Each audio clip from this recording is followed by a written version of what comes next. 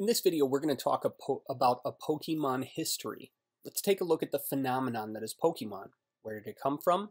What is a Pokestop? What is a Pokegym? And how is Pokemon evolving?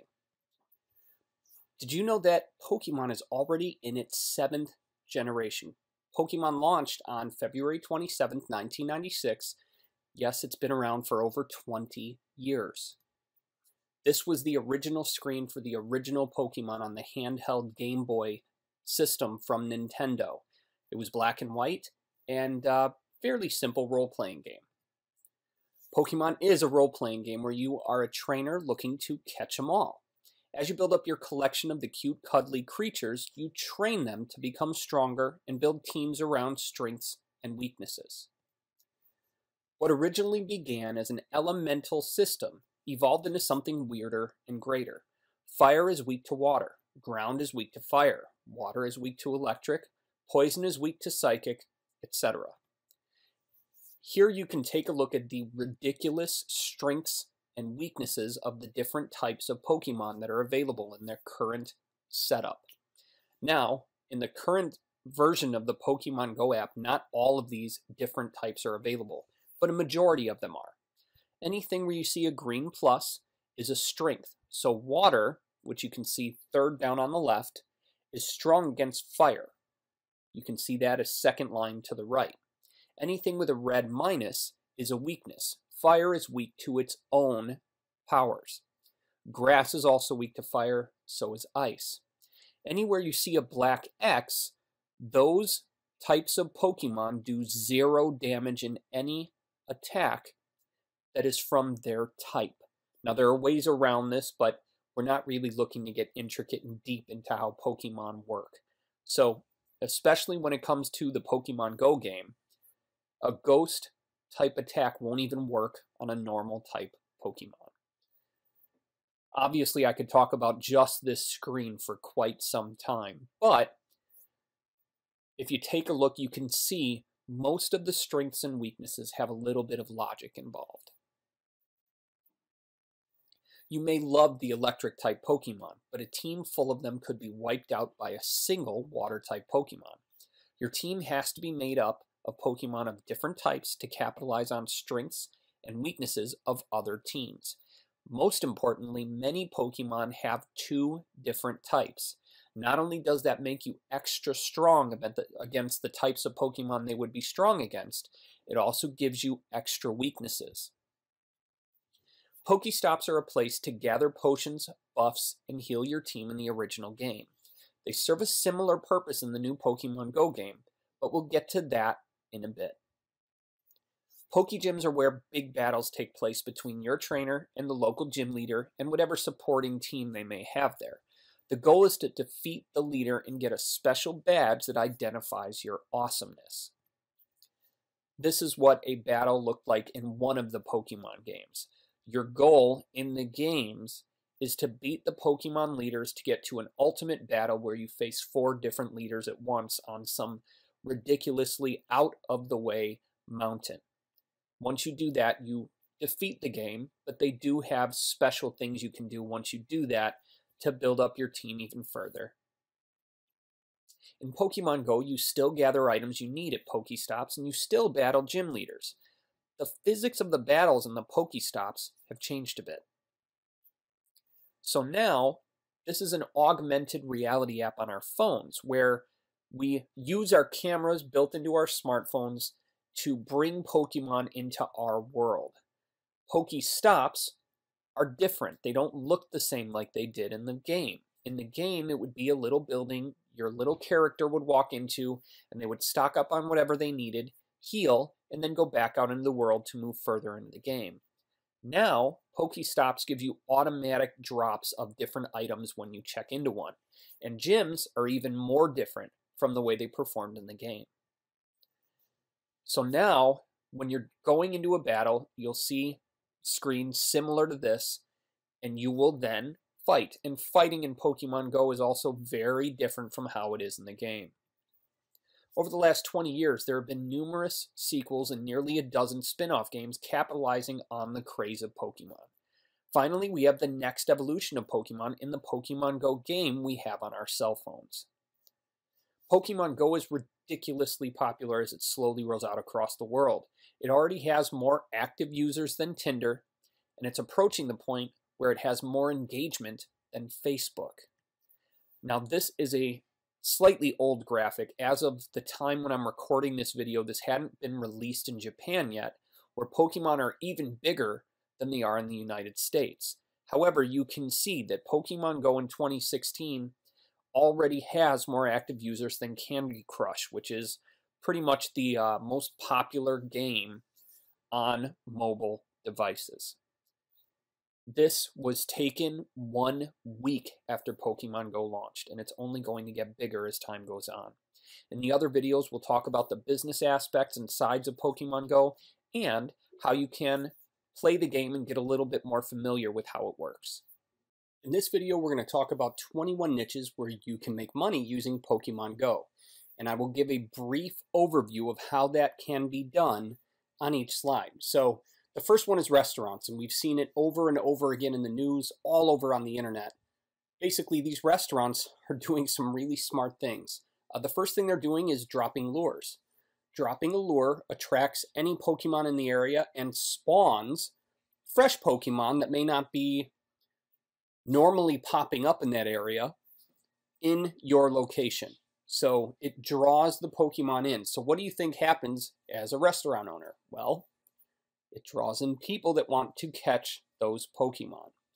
With the way the app works, it will tell people where Pokemon are that are somewhat close to them. So you could have people that are two, three blocks, even a mile away, and the trainers are still notified that there are certain types of Pokemon that are close to their location. So it will draw them to you. A restaurant is looking for local business, and that's what this kind of customer is. So the next step that many restaurants are doing are rewarding Pokemon trainers for either catching Pokemon in their area or owning a local gym. They will reward that team with a special discount.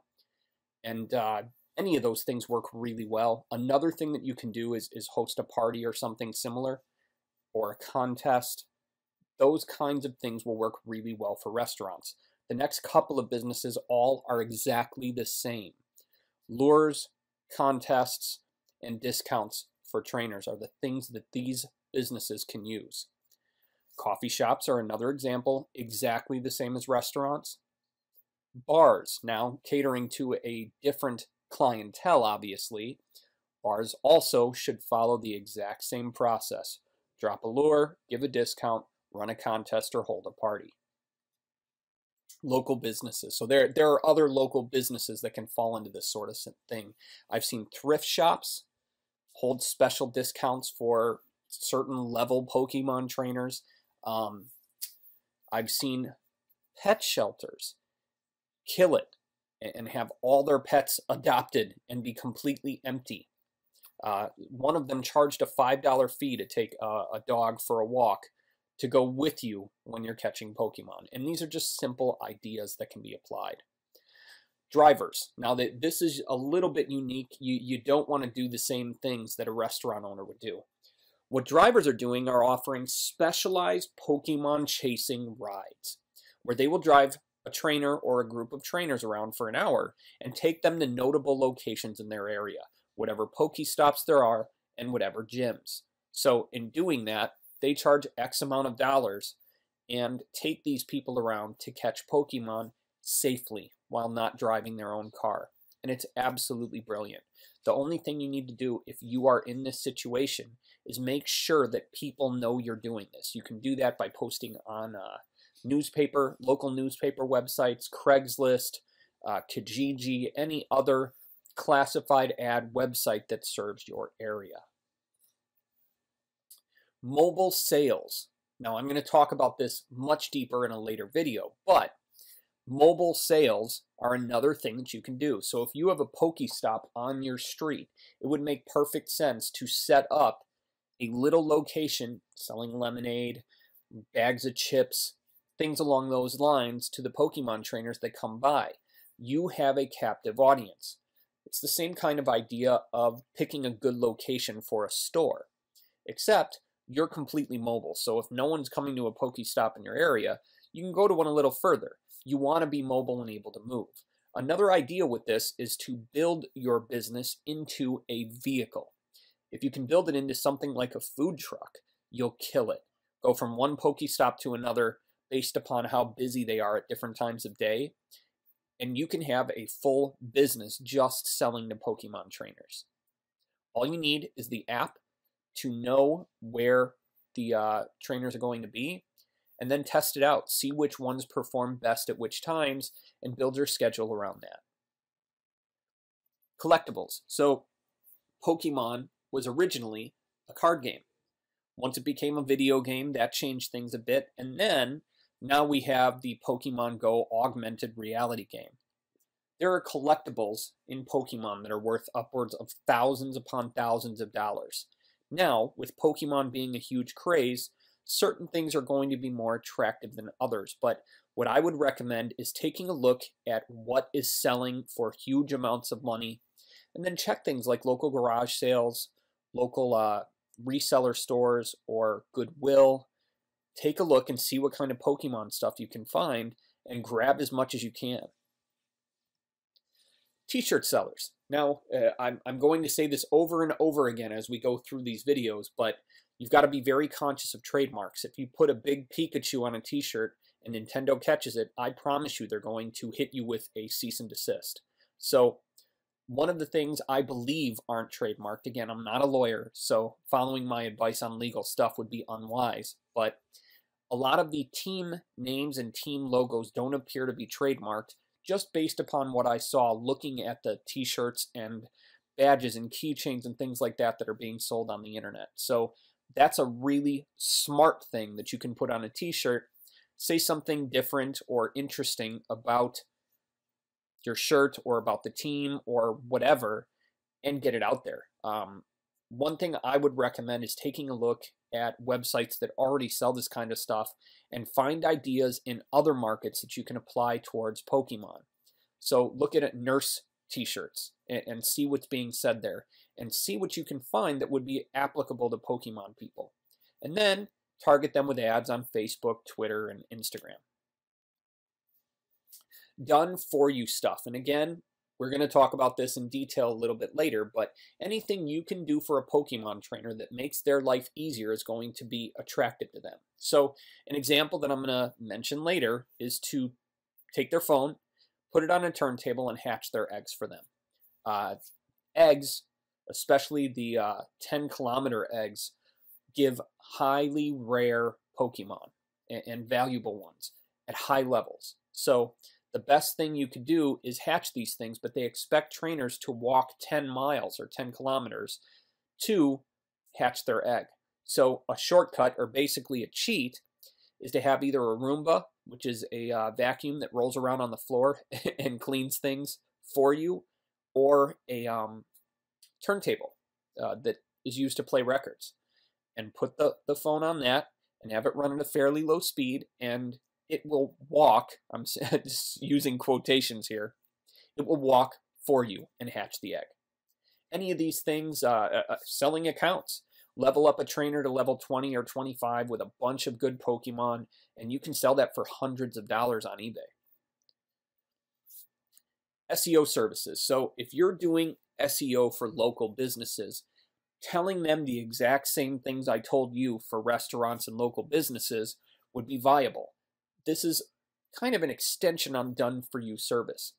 Help them get set up with Pokemon related sales strategies, things that they can do using Pokemon to reach that audience and get more business because that's really what search engine optimization is about is getting more business social media managers, especially if you're local to the businesses or catering to businesses in your area, people don't know what to post to social media to drive leads and drive sales. So, as a social media manager, you could offer a Pokemon specific service where you would go to their area once a day, take photos of whatever Pokemon are around the area, and upload it on their behalf to their Facebook fan page, their Twitter account, etc If you're capable of doing that, it's worth a few hundred dollars a month to a local business.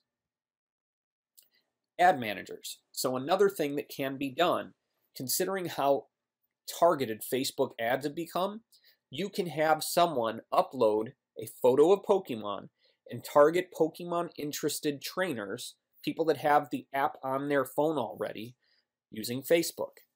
And doing that with a picture of the Pokemon that's in your area. That will drive people to you. All you need to do is make sure you drop an, uh, an app, drop a lure every 30 minutes or so. If you do that, the people that see your ad will come to your location and hopefully buy the products you have for sale. Blogging about Pokemon is becoming very popular very quickly, and it's going to be difficult to break through the noise and, and say something that hasn't been said a hundred times before. So, if you're going to blog about Pokemon, pick a specific angle and stick to it. So, talk about how to play Pokemon Go for 10 year olds or how to play Pokemon Go for 50 year olds. Those are things that will pick a specific audience and speak their language and target them specifically. You can monetize through AdSense or Amazon affiliate products. Content writers are going to be absolutely killing it if they do something called private label rights. If you sell private label rights to your content and no Pokemon, you can make a killing selling packages of 10 to 20 Pokemon articles to people that are interested in the topic anyone that writes content, if you know Pokemon, it would be silly not to sell it. YouTube. So the trick with this is that Pokemon Go is on your phone, so it's going to be really difficult for you to record yourself while you're out there wandering around.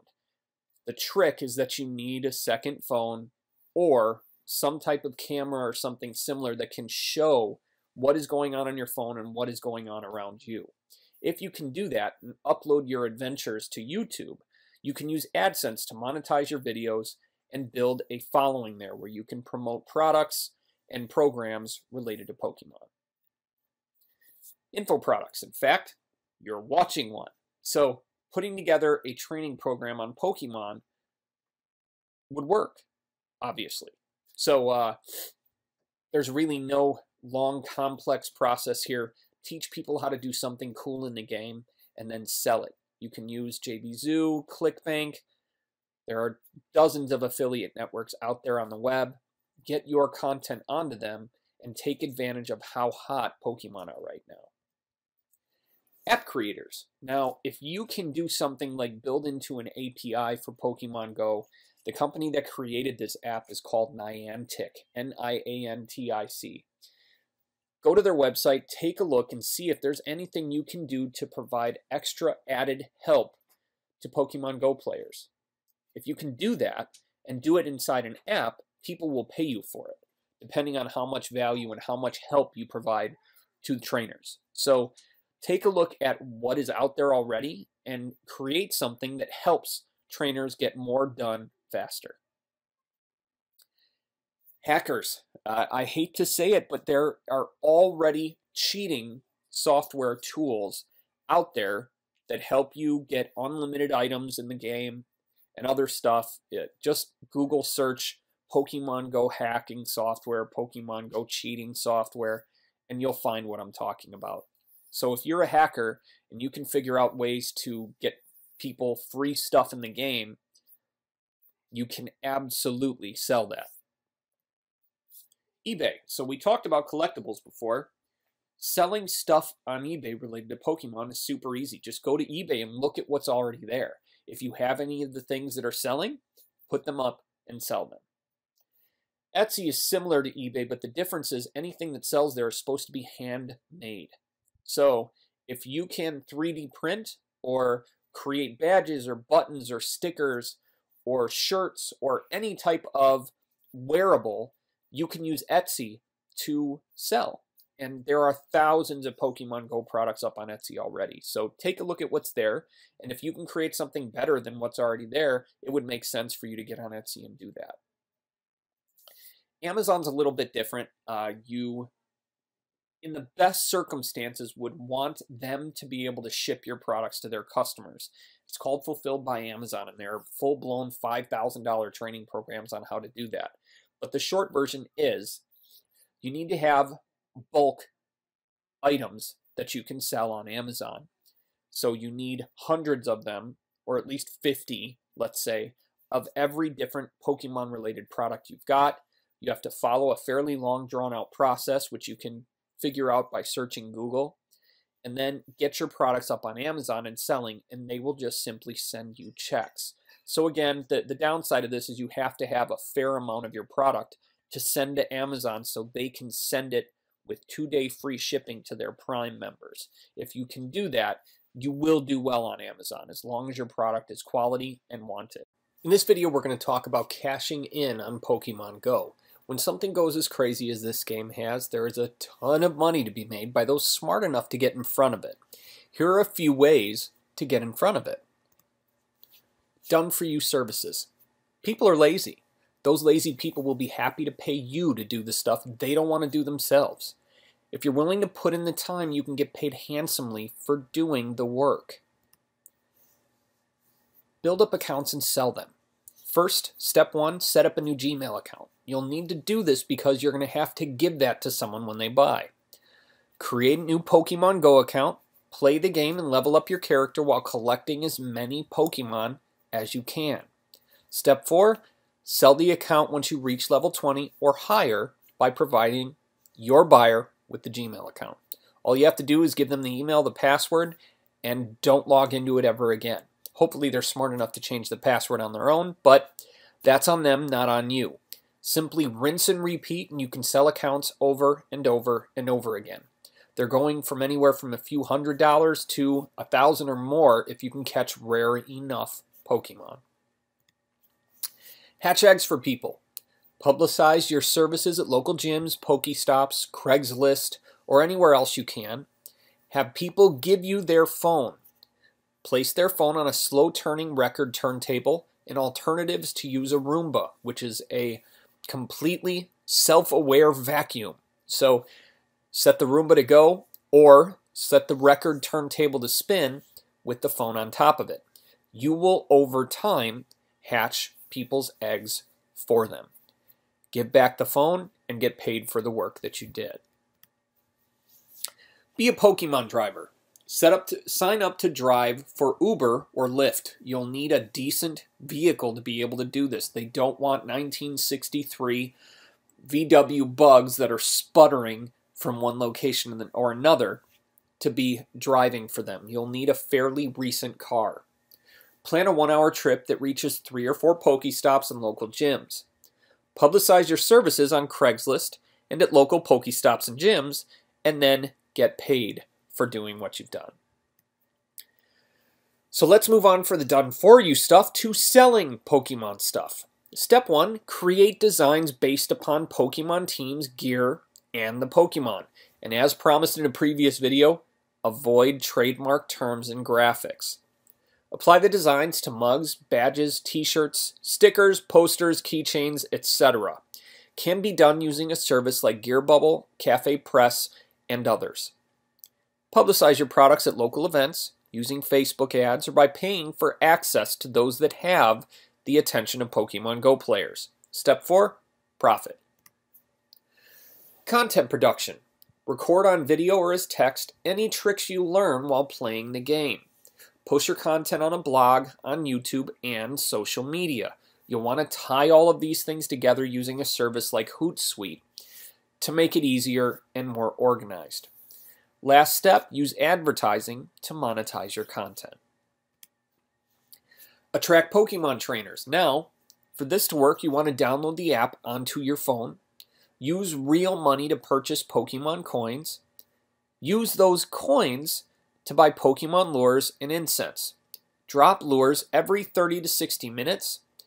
Offer special discounts and prizes to Pokemon trainers and another option is to have a charging station so trainers can charge their phones while they're buying whatever you've got for sale.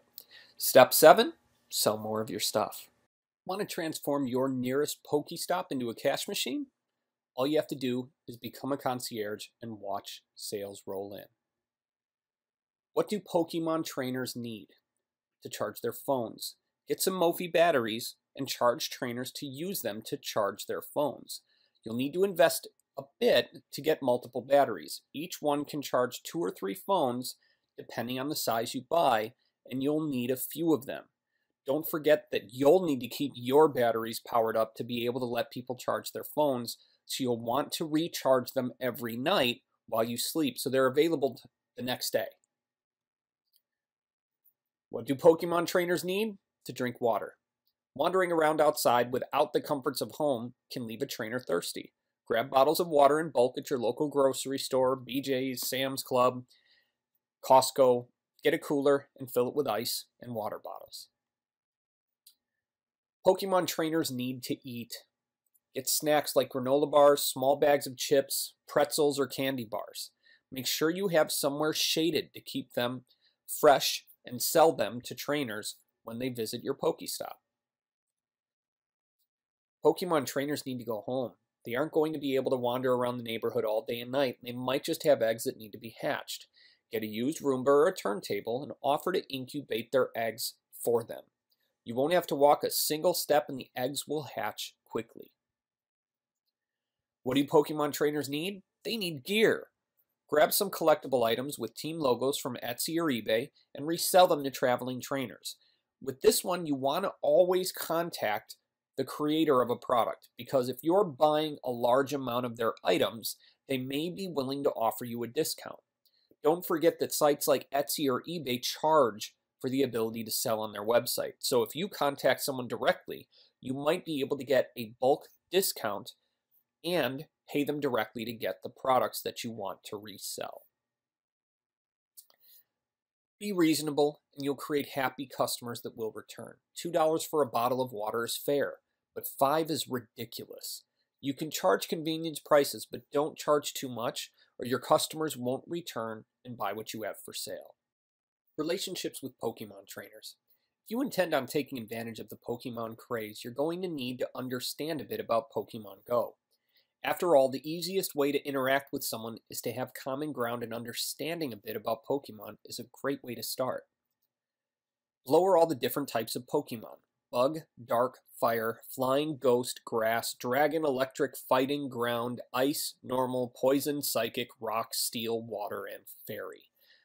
The thing to know about this is not only does every Pokemon have a type, most of them have two. Each type comes with different strengths and different weaknesses. Fire is strong against ice and grass. Dark is strong against a couple of the others. Electric is strong against water. A lot of it is common sense. However, coming up, I'll show you exactly who's strong against what and who's weak against what so you can see it for yourself. We talked about strengths and weaknesses in the history video, but here they are again below. You can see the green circle is strong, the purple square is normal, the triangle is weak, and the X means that they can't even hit the other character. Now, understand going in that this is based upon the type of attack, not just the type of Pokemon. So if a fighting Pokemon has a normal attack, it should be able to attack a ghost type Pokemon. If it's using a fighting type move, it will not work. Well, and actually, as I'm looking at it, normal won't work either.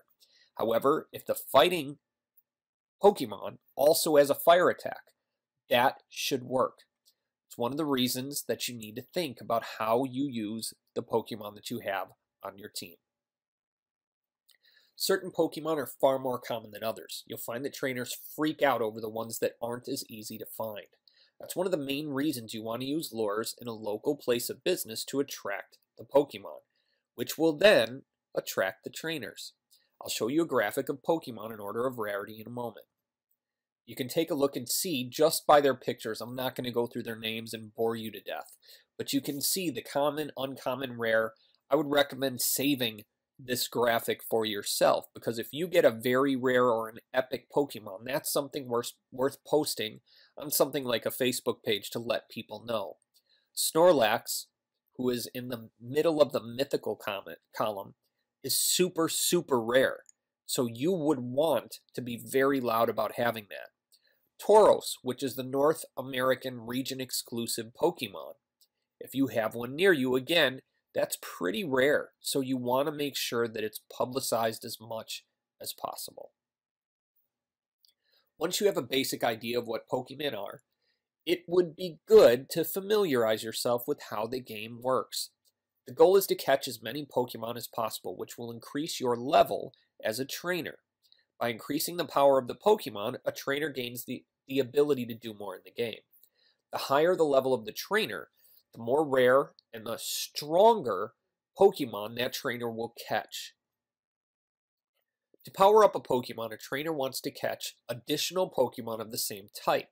When that happens, the trainer will send it to the professor and will receive a special candy unique to that Pokemon. Candy and Stardust are required to make Pokemon stronger and level them up, which in turn levels up the trainer. Stardust is something you get in mass amounts when catching Pokemon. The combo of Stardust and Candy are used to not only level up Pokemon, but they can also be used to get a Pokemon to evolve. Pokemon evolve into more powerful variations of what they were when they started, they also happen to look much cooler. Once a trainer hits level 5, they can begin attempting to take over gyms. To take over a gym, the current resident Pokemon will have to be defeated in battle by a Pokemon the trainer has. This is done by swiping to dodge and time the right attacks at the right times. If the trainer wins the battle against the resident Pokemon, it will become the leader and can leave one of his own Pokemon to defend the gym in the trainer's absence. As long as he owns the gym, he gets items anytime he visits. These items are only for the owning trainer, which is why there is fierce competition between trainers over who owns a gym. When building relationships with anyone, it helps to have common interests. Even if you have zero interest in how this game works, the basics we've covered here will help you understand the language the players speak. Now you'll be able to discuss how many awesome Pokemon they caught today. So I thought it would be cool to take a departure from the slideshows and show you some actual internet stuff. And what we're talking about in this video is how to make local money from Pokemon Go. So the, the first thing I want to start with is learning about the game. I've taught you a few things, but you'll want to learn more. And what I'm showing you is the location I recommend going to to learn. Uh, it's ign.com forward slash wikis forward slash Pokemon dash go. If you do a search for IGN Pokemon Go, you will find this. And it's really detailed. Goes into every little tiny intricacy, everything you could really need to know about the game itself. It will not teach you anything about how to make money with it. However, it will teach you everything you could possibly want to know about the app and game itself. So I recommend this because it's something called a wiki. Wikis are editable by any registered user. That means that it's always going to be up to date. People will update it when they figure out new stuff. So we talked about being a Pokemon concierge, and that's a local business you can set up going to different Pokestops and Poke gyms in your area. And I recommend having a membership at a wholesale club. It does not have to be BJ's. It can be Sam's or Costco. Either of them is fine.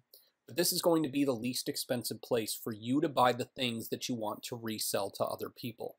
Candy, chips, water, other drinks, they're going to have it much less than you would find at your local Walmart, grocery store, or Publix, or whatever your local grocery store is called. When you buy in bulk, and then you resell, you can make more money because you're paying less for the product itself. So a couple of the things that I recommended you get, one would be a portable cell phone charger. And I just did a search on Amazon and I'm going to talk to you about the things that I found. I thought this thing was really slick.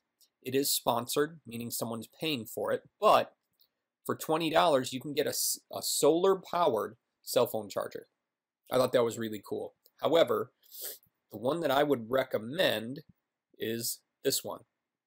Easy ACC Monster 2 20,000 mAh power bank. That's a large amount of power. This should last you a majority of the day. And you can see that there are four USB ports, so you can let four different people plug in their phones at once. And then, of course, you charge them for the ability to do that. That's not something they're going to be able to get just anywhere. And you'll know that it was $33 with free shipping if you're an Amazon Prime member. They will not. So I recommend something like this. However, an alternative is a full portable power source with USB. This $300 beast should do you well. It should last you at least a full day of multiple charges for multiple people, and then you can charge it up overnight. The reason I recommend this is because you can also do some of the other things we had discussed. This is a portable turntable.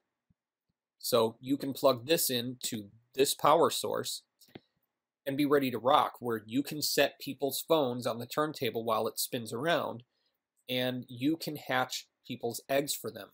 Charge 5 to $10 per egg and you'll be rolling in bank pretty darn quickly.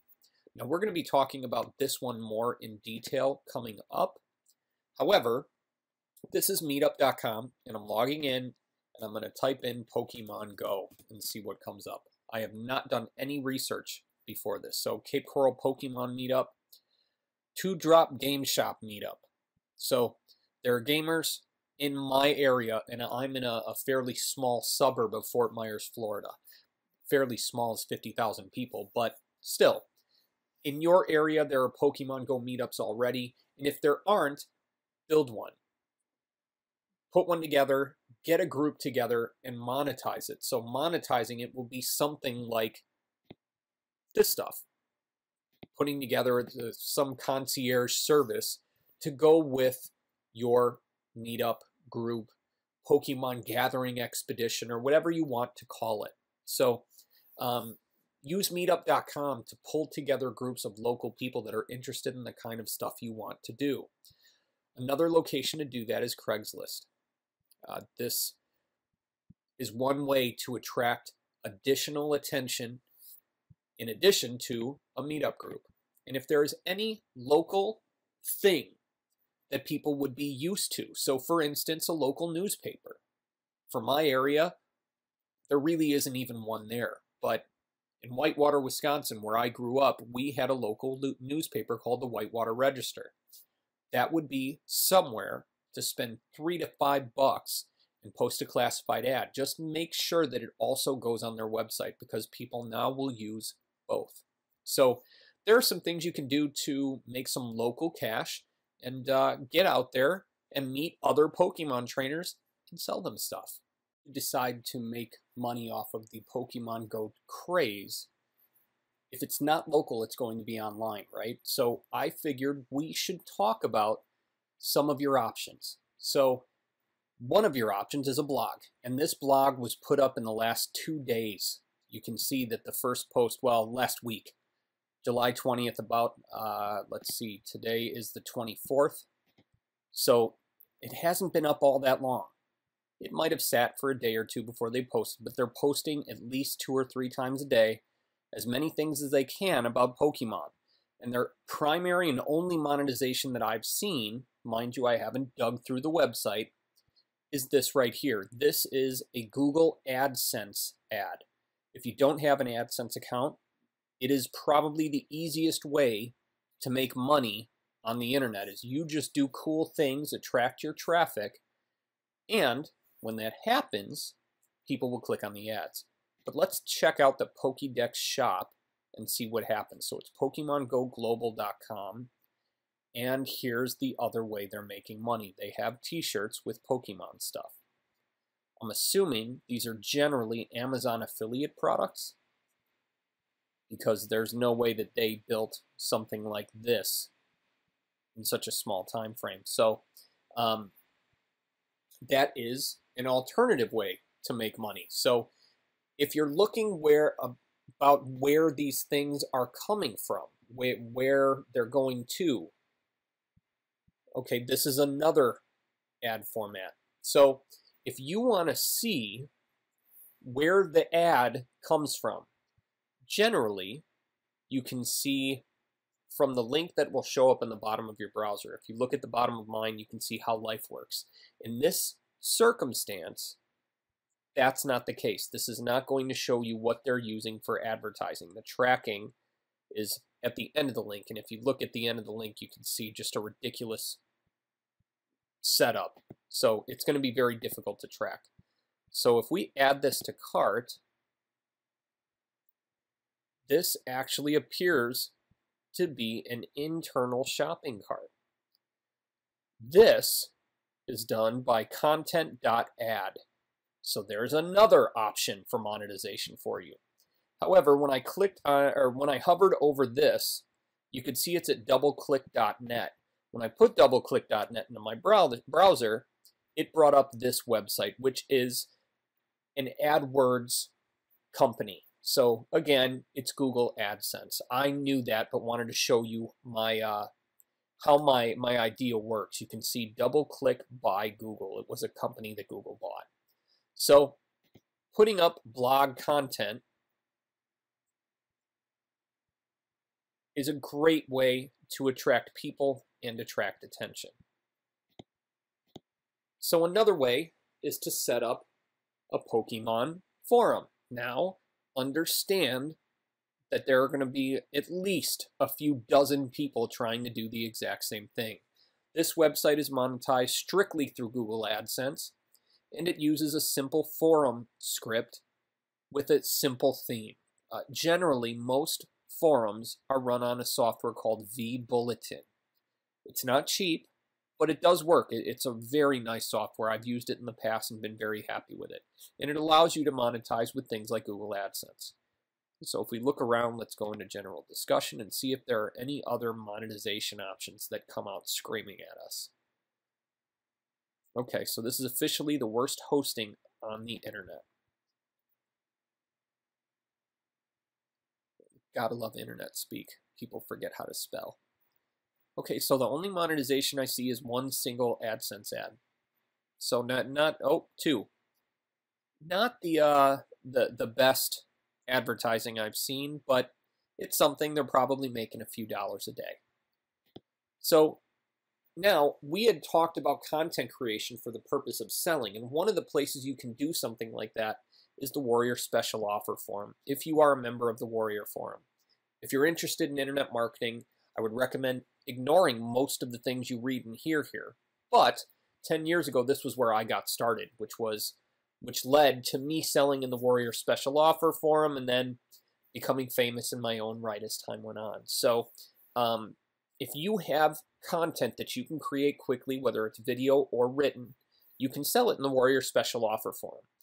You would use an affiliate network called Warrior Plus, or there's another one called JVZoo. My choice between the two is JVZoo. They just seem to have better features, but to each their own. So if you like doing video content, you want to use YouTube. It's the boss. It is it is the big website when it comes to video. But uh, you need to get a couple of videos up and apply for YouTube's partner program. Because what you want are these the ads that show up in the front of your videos, they will make you money. Uh, potentially, depending on how much traffic you're getting, it could be hundreds of dollars in a very short period of time. Considering how hot Pokemon Go is right now, if you choose the right keyword terms to target and create good stuff, the odds of it going viral are very high. We're going to talk more about viral marketing later, but this is the number one video that isn't by Nintendo and you can see 1.6 million views. So th this video is doing very well for its owner. Who knows how much money they've made, but I can promise you it, it's probably a very solid paycheck. So now let's talk about getting ideas.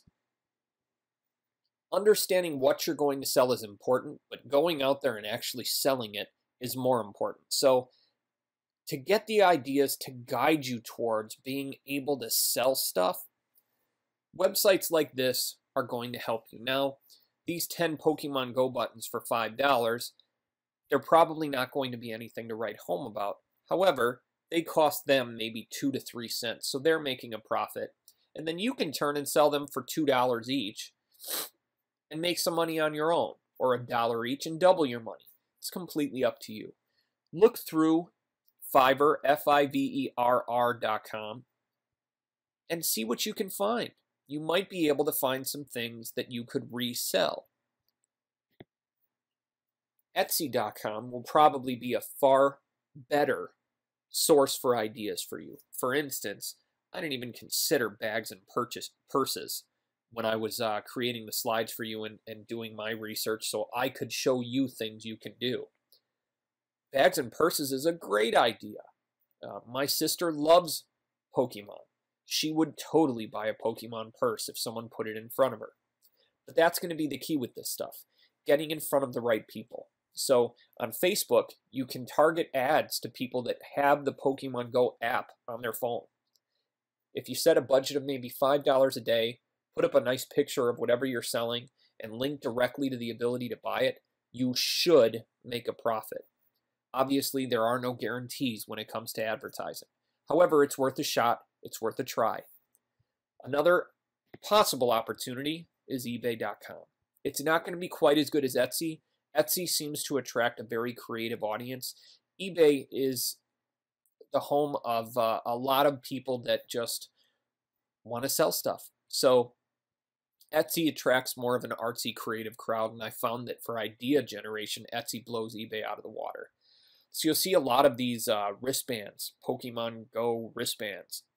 However, if you really keep looking, this is brilliant. This clock here is awesome. It's done on a record, I believe, but it's just really cool looking. I mean, $40 for that, I'd pay that in a heartbeat. So look through, you can see there are t-shirts, comes with a free sticker. You can get ideas. So get your ideas on eBay and Etsy. Uh, Fiverr, maybe a few. But if you wanted or had something you could do, like drawing someone with their Pokemon, that's viable. You could totally sell on Fiverr. So those are some options to make some money using Pokemon Go with the internet. When it comes to Pokemon Go, one of the best ways to make money is to do it with video. But what do you do when you want to show someone something on the device that you usually use to record yourself? Well, you've got to get an external camera. But before we talk about that, I want to share some of my tips and tricks to recording good video. The primary thing is that you've got to be comfortable in front of the camera. If you can't pull that off, you have no business doing videos that feature you in them. You really need to be free. Be free to show your personality, who you are, and really know what you're talking about. If you're just reading from a presentation of some sort and your face is on camera, that is the single worst thing you could do. It's bad. And people will react really negatively to the videos that you produce. So keep that in mind. Another trick that I generally do is if I'm using my phone as a camera or an external camera of some sort, you need something to hold it up. So that's why selfie sticks are so popular because they don't show in your picture and it's not always obvious that you're holding a camera up somewhere. If you're going to be walking around, you're going to need somewhere to put the camera, whether it's held by another person or something like a selfie stick.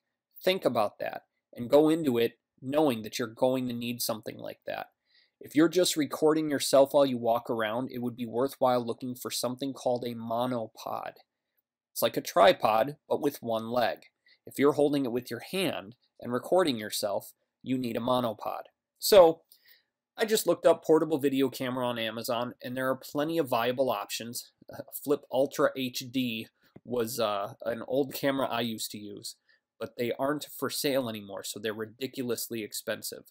I believe this one was $150 before they stopped making them.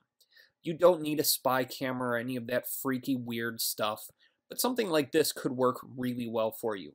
The key is that you need to make sure that it's capable of HD recording you need high quality video. You're recording something on the tiny screen of your phone and possibly with your face next to it. You don't need a $3,000 camcorder to do that. You just need to make sure that it's HD quality and that it has some form of storage that you can use or is able to be plugged into a computer. So another thing, if you really want to go high end, a GoPro is probably the best thing you could possibly get. These are designed, these are the things that you see on, on big helmets when people are doing daredevil things and jumping out of planes. A GoPro is what they use. So this is probably the highest end thing you could buy to record video. If you're just doing it yourself, something like this will work just fine. Let's look for monopod and see what we get. See, this is, I believe, this is the one that I have. So uh, it works just fine. You can see it's got a little nub on the end to kind of uh, hold it in place. So once you get your videos done, you're going to put them up on YouTube generally. So when you get them up on YouTube, the way you monetize those is by using something called AdSense. It's made by Google. I've mentioned it in other videos. If you research or do a Google search for Google AdSense, you'll find exactly what you need to sign up for. However, if you're creating videos, every video website, in fact, any website you can put content onto, has an internal search engine as well. So I would recommend taking your videos and putting them up on as many video hosting websites as you can. Dailymotion, Metacafe, Vimeo.com, all of these are viable alternatives to YouTube. So go ahead and get it up there and get your videos up in multiple locations because the worst thing that happens is you get a few extra views. Google will choose one and rank it in their search engine. However, you're still in the internal search engine. So with something like Pokemon Go, being up on Vimeo just makes sense. So if we look on Vimeo, there are 593 results on Pokemon Go. If we look on YouTube, there are 16 million. So I'd much rather compete with 593 options than 16 million. So if you post all your content on one of these websites, the odds of you becoming the go-to guy on that website for that topic are way higher than YouTube. So keep that in mind. Now, this isn't necessarily video, but these tend to rank really well in Google. SlideShare is somewhere to put up slideshows. So if you're using a slideshow to create a video, excuse me, a, a slideshow, you can put it on SlideShare. So there's already 1.8 million results. Your slideshow better be pretty good. I actually am friends with this guy. But uh, anyway, SlideShare somewhere that you can use to get to the top of Google without a lot of work. So where is the, your video going to go? I wouldn't drive traffic just to YouTube or Vimeo or Dailymotion. You want to set up a blog of your own, and you can set up something on Blogger Another one is WordPress.com, but what I would recommend is privately hosted WordPress.org, which is the same software from WordPress.com. But what you want to do is you download this and you want it installed on a web host. And if you're going to get hosting, I actually did a bunch of research lately and found this host. Now, they try to sell you something every day, pretty much. And the uh, process to sign up I paid for a year it was like $25. I ignored all their upsells and everything else because I don't need it. And I'm going to be setting up a website on their host. I cannot vouch for how amazing they are. They claim to be very quick. They claim to be built to use WordPress. So I would recommend them just based on the research that I've done so far. I haven't had any bad things happen, so it's worth a thought. It's worth a look. Um, and that's how you can make money with Pokemon Go using video. Pokemon events or parties will be a way for you to draw attention to either your business or to the party itself, where you can, of course, make money selling stuff. So, the first thing you want to do if you're going to put on an event is plan it all out. I put this together in a period of 10 to 15 minutes of just typing out random things. Obviously, they're not based on fact. However, I did try to be as accurate as I could with most of the stuff. So if you look under timeline, it's a two hour party. You'll want to do at least that long. You may want to start at like a 5 p.m. or do it on the weekend on an afternoon. So what you want to do is be somewhere where you can drop a lure. So if you're hosting the party in your location, that would be your location. If you don't have a location, you can do it somewhere public. It doesn't need to be super organized. Any old park should do just fine. The one thing you'll want to do with a park is contact them and see if you can arrange to have a private party there because if you can do that, then you won't have to worry about there being a small army of people under the one shaded location at your local park. So the first thing, of course, you're going to do when the party starts is drop a lure. You may need to spend a whopping $10 to cover the amount of time that the party's going to run. Then you want to hold contests, and we'll talk about where you're going to get the prizes in a moment. Uh, first, uh, I thought it'd be cool to run a catch contest. So whoever caught the the rarest or highest level Pokemon, you, you can set up the parameters. But I thought it'd be cool to do that. And then maybe if there's a gym that's fairly close, have a battle contest. Have them fight it out to see who ends up with the gym at whatever time. Whoever has it at that exact time will get a prize for having it. So the next setup I've got is why why attend. So I covered who, why, where, and when. The how is kind of obvious. They're going to come to catch Pokemon. So um, who, Pokemon trainers, why catch Pokemon, where the park, and then the date. So you need to understand that going in. Look at your schedule, figure out when people are going to be available. One of the worst things you could do is schedule something like this over a holiday weekend on a holiday. You can do it over a holiday weekend, but you're running a huge risk that people are going to be somewhere else with their families and not available to attend your party. Uh, next, you want to put together a shopping list, and these are going to be things that you're going to sell for money. So if you want to have hot dogs there, you've got to kind of think around how are you going to heat them up? How are you going to keep them warm and not disgusting and covered with flies? So you want to go in and really plan out what you're going to do for money. Uh, let's take a look at the to sell category. I'm going to move that. Well, I want to move that over. There we go. So we have food and drink. All of these things will be for sale. And as I referred in a, in a previous video, you don't want to uh, have ridiculous prices on these things. Have them be reasonable. Your cost on a hot dog is maybe a dollar, so sell them for two. Uh, team badges, uh, you can order these things in bulk on Etsy and eBay. Team t-shirts, goodie bags of keychains and things like that you should be looking on Etsy and find people that will 3D print things you need. Maybe you can even get something unique that people can't get anywhere else. As mentioned in a previous video, you want to reach out to these people directly if you're buying more than two or three of an item so you can get better pricing. Etsy, eBay, all those sites charge to sell on them. So if you contact the seller and offer to buy elsewhere or buy more than they have for sale on any of their listings, that's going to do well for you because if they're not paying the fees to the website, they can discount your price by at least that amount. And then possible sponsors, I just pulled out of my behind Walmart, Target, Kohl's. None of them are going to sponsor a party you're putting on.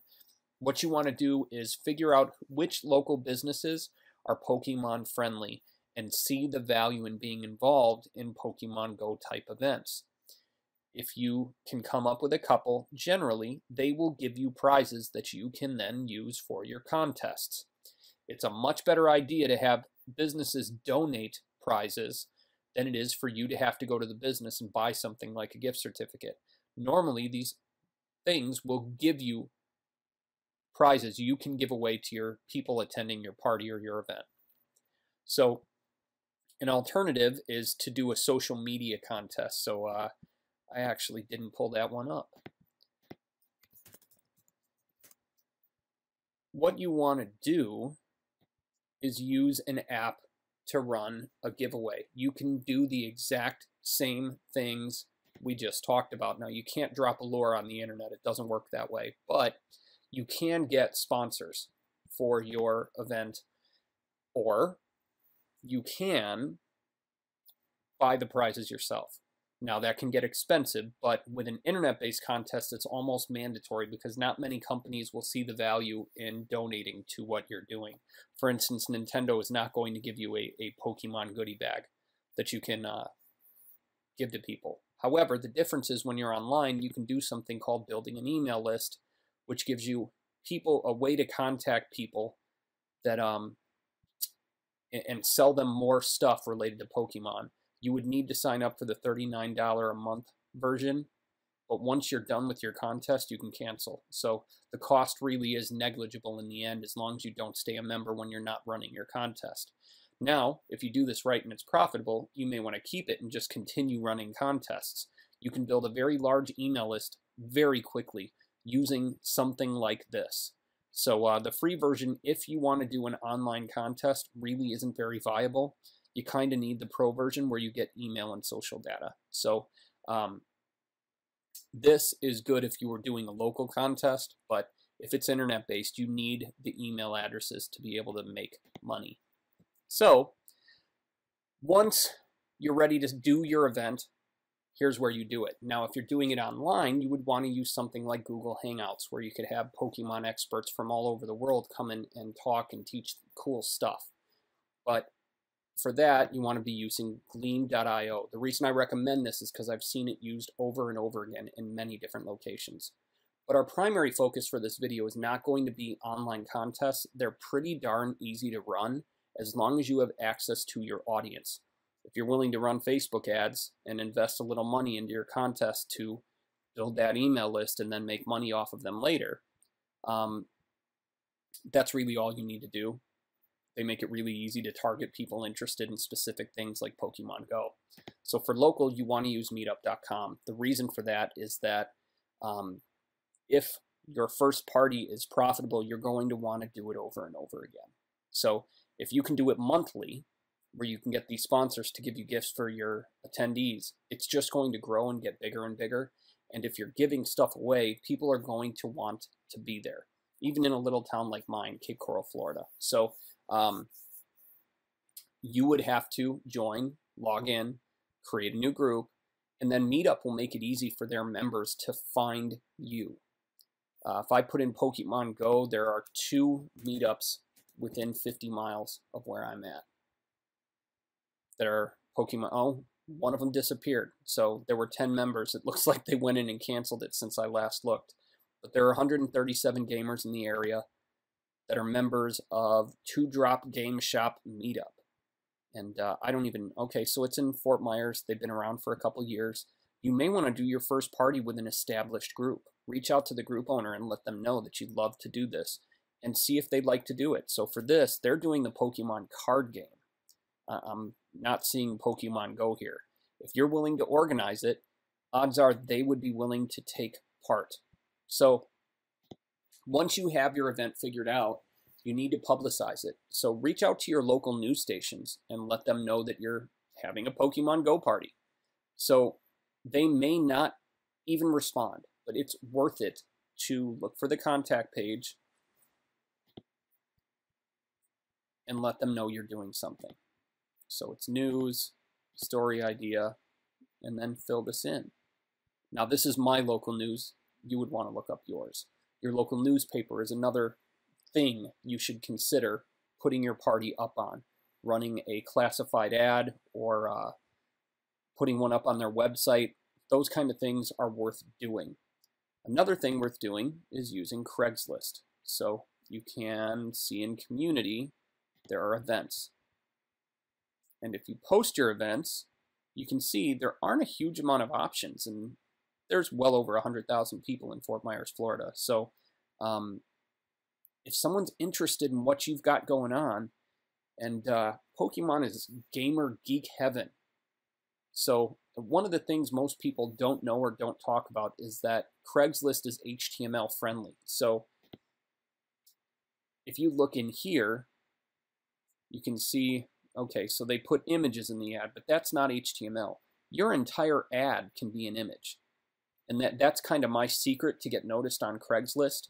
Put together a large graphic that covers who, what, when, where, and why. And then post the graphic as your ad. You can Google image HTML and it'll give you the code that you need to make it look nice and uh, stand out. Put in the location so they have their little map built in. And uh, this will get you people that are interested in what you're doing. Last but not least, uh, another idea to find businesses for sponsors. So for me, Fort Myers is okay. Cape Coral would be better, but um, their website is horrible and takes forever to load. But the Chamber of Commerce, the local Chamber of Commerce, will have a business directory available to you. So you can put in your keywords or just click something like all categories and look through the businesses that come up. If they're a member of their Chamber of Commerce, odds are they understand the value in advertising and new business. So look for things like beauty and fitness. Um, depending on what you're doing, obviously not Pokemon stuff, but office supplies or toys, or think about what Pokemon trainers are going to be interested in. And uh, look at your local Chamber of Commerce. You'll get plenty of ideas businesses you might not even know exist. So that's how to run an event. Uh, they can be very fun. They're also very high stress. So go in with a plan and rock out your party. Have uh, help there, be awesome, and have fun. In this video, we're going to talk a bit about viral marketing. And uh, the, the thing about viral marketing is there is no exact science. Now, we're going to go through one of my favorite posts about viral marketing, and I'm going to talk about each of the eight things that they recommend you do to ensure you go viral. However, I wanted to take a quick second. I know I just talked about contests, but using something like Gleam.io to run an internet based contest, if you want to go viral and generate viral traffic, this is the best way to motivate someone to spread around what you've got to say. So keep that in mind. Get some prizes together, bribe people with them, and get them to share your contest and build your business for you. So, with that being said, let's take a look at viral content and what's truly gone viral. This has 300 million views, I'm estimating, of course. Uh, 94,000 YouTube subscribers, and who knows how much money this lucky, smart man has made from this video itself. I'm guessing it's a lot. This was the top viewed video on YouTube years ago and it's still being viewed today. I don't know how much, but I promise you it's being viewed quite a bit. So, what this gentleman does is go through dance trends from the 50s through now. And uh, it's a really good video. Uh, look up the history of dance or evolution of dance on Google and you can find it. What he did was he did something different, unique, and awesome. And that's kind of what most viral content achieves. The Chewbacca mask lady is another one who just dominated the internet for a short period of time. She utilized her 15 minutes of fame quite a bit. In 24 hours, over 50 million people watched the video. In fact, I watched it two or three times. And this is just the BuzzFeed version 3 million views. This was her uh, getting some rewards 34 million views of Kohl's giving her a bunch of free Star Wars gear. So on YouTube, let's pop this open and see.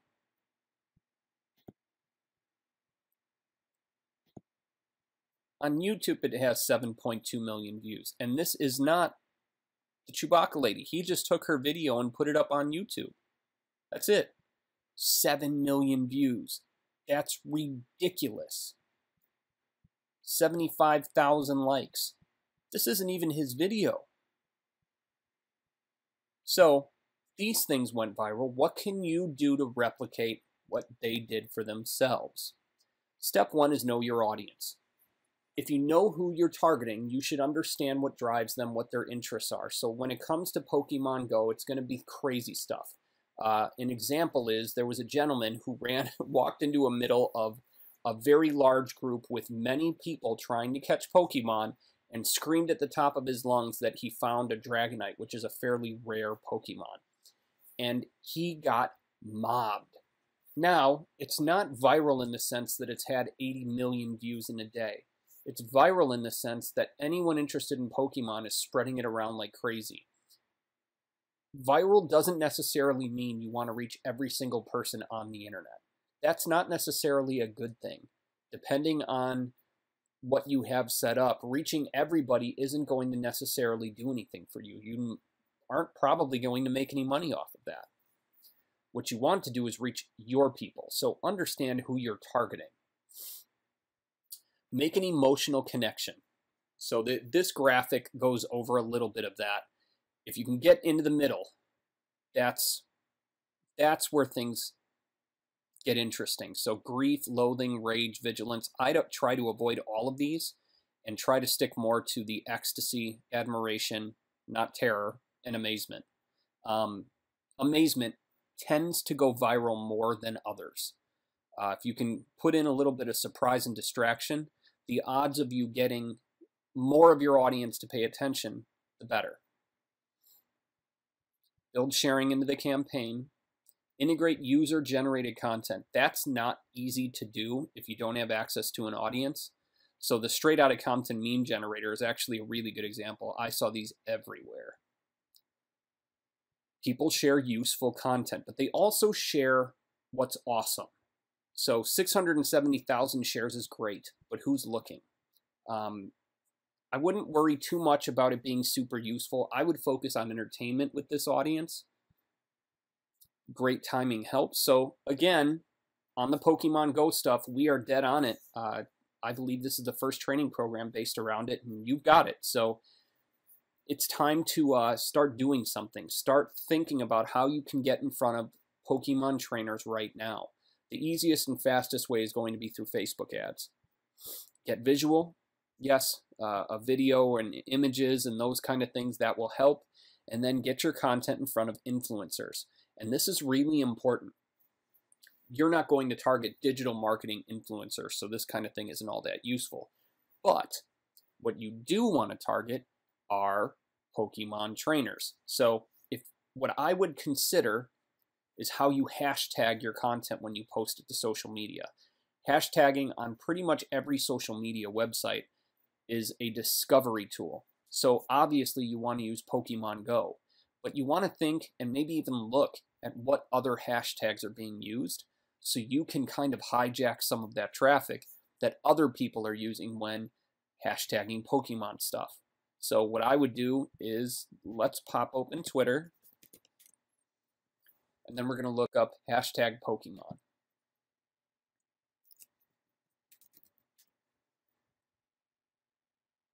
Hashtag Pokemon. So we can now look at C and see at these different things that are being tagged. So look at what people are tagging. And that's where I'm going to leave you. Uh, the, the secret to viral marketing is to know your audience and create something so awesome that they'll share it to everybody else in your audience. That's it.